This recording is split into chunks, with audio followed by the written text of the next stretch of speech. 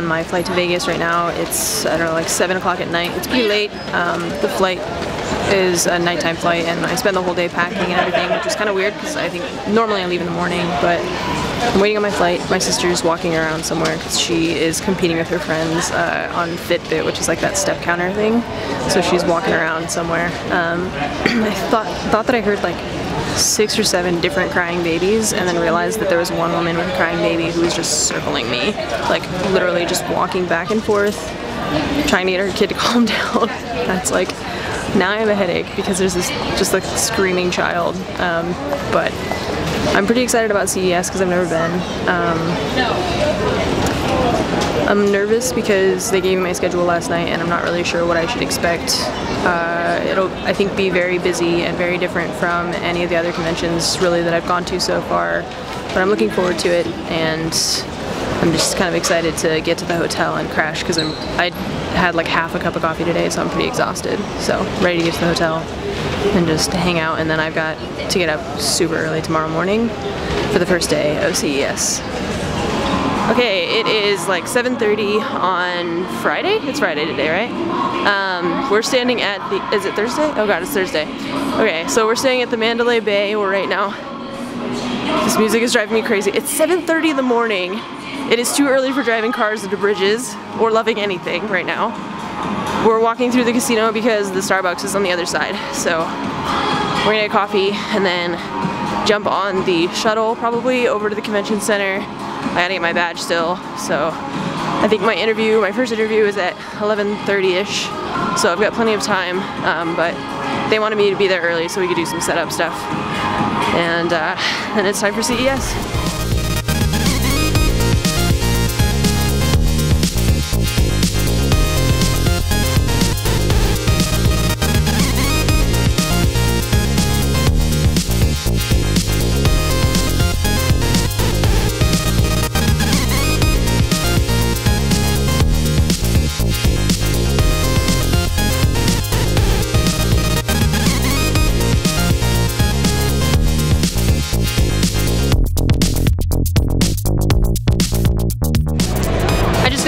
Couple hours of interviews, I got to meet the senior VP of software at Intel, which is really cool because he's one of the guys who's kind of behind the Intel Streamers Bootcamp thing that I've been doing for a while now.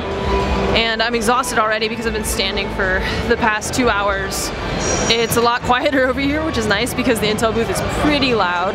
Um, they had some really cool like basketball stuff going on and they're showing off some of their technology. Um, I think my sister and I are gonna get lunch because I'm starving. Didn't really have breakfast, of course, so uh, now I'm just kind of walking around and I think I'm done for a little while. There's a Razer announcement later that I'm probably, I'm either gonna go to the Razer announcement or I know I'm interviewing someone after the Razer announcement. Uh, so I guess I think that's the last thing that I really have scheduled for today. It's a really weird convention because it's a lot more of like adults and technology and not so much about video games, which is what I'm used to. Um, there's a lot of focus on VR, a lot of focus on like 8K TVs have been here, and that's pretty. I mean, I don't, I don't, like most people don't even have a 4K TV, and they're already coming out with like 8K TVs. So um, it's been an interesting experience. It's definitely really cool. It's just very, very, very different. We are outside of CES right now. My sister and I just were hanging out on a, a bench. We, I, I, wanted to sit because I've been standing for pretty much all day. And we've been walking around a lot. There's seems some really cool things. There's a lot of robotic stuff. Um, it seems like there's a ton of VR, like everybody's really focusing on VR right now, and um, autonomous driving I've seen a lot of. So there's some pretty cool stuff. Um, definitely there was some like robot arms that were like picking up things and like organizing them and stuff, and that was awesome. And I got to try some of the VR earlier, and now I'm just kind of waiting. I have my last interview in about an hour, so hanging out, just checking out some of the stuff uh, around CES. So I'm like trying to. Robot to paint purple. Painting purple pixels to the canvas. Thanks for using RoboPaint.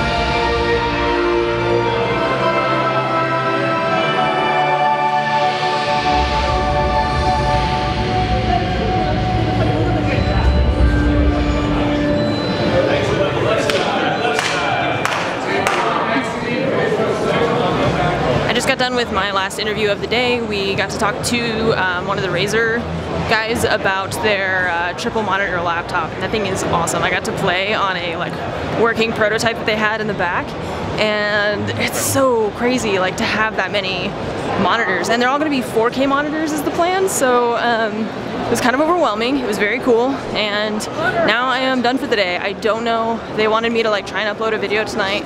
I am gonna uh, just wait and see how long it takes them to get the edits done, and then um, I gotta be back here tomorrow morning at like 8 or 8:30.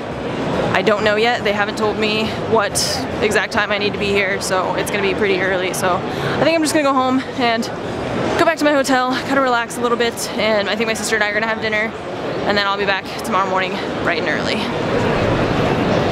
It is day two of CES and I just finished up a couple interviews. Uh, took me an hour to get here this morning. It only took 20 minutes yesterday on the shuttle. Today took an hour. It was a nightmare. And um, I did one, two, three interviews already today. We're doing, we're on our way right now to the GoPro booth. I'm gonna do a GoPro interview and then we break for lunch. And then I have, I think, I'm gonna go to the BK keynote and BK is the, um, he's the CEO of Intel. So that's like the big one. And then I've got two more interviews right after that. And um, I think that's it for today. And then we've got a full day of interviews tomorrow as well. So it's still very busy, very busy, but um, I've got to see a lot of really cool stuff today, uh, which you guys will see in the, the CEO videos, or not CEO, the CES videos. Um, that there's there's just been so much cool stuff here, so I'm excited also to also talk to these guys at GoPro and then get to walk around a little bit more.